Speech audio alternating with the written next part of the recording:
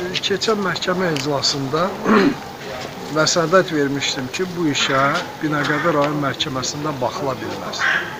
Ona görə ki, haqqımda olan iş Binəqədi rayon məhkəməsində saxtalaşdırılıb və iş üzrə hakim, e, şahidlər, hakim və məhkəmənin işçiləridir.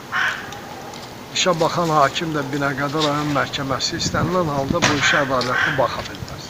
Ona görə bundan başqa haqqımda bilə-bilə qanunsuz olaraq cinayət işi qaldırıb, cinayət törətmiş e, Nazim İmanov Binəqədi rayon prokurorudur. Eyni cür hərəkətlər etmiş, yəni saxtakarlıq edib, cinayət törətmiş. E, Kazımov bu rayonun e, prokurorun köməkçisidir. Eyni halları Binəqədi polis idarəsində baş verilib.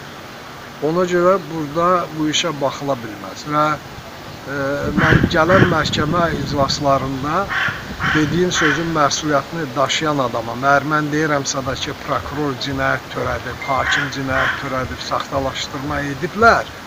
Mən bunu təkzib edilməz materiallarla əlimdə olan məhkəmə iclasında sübut edəcəm və bugünkü məhkəməyə təşəkkür edirəm ki, yəni obyektiv olaraq mənim dəlillərimi qəbul elədi və məhkəmə aidiyyəti e, müəyyən olunması üçün işi Bakı Apellyasiya Məhkəməsinə göndərdi.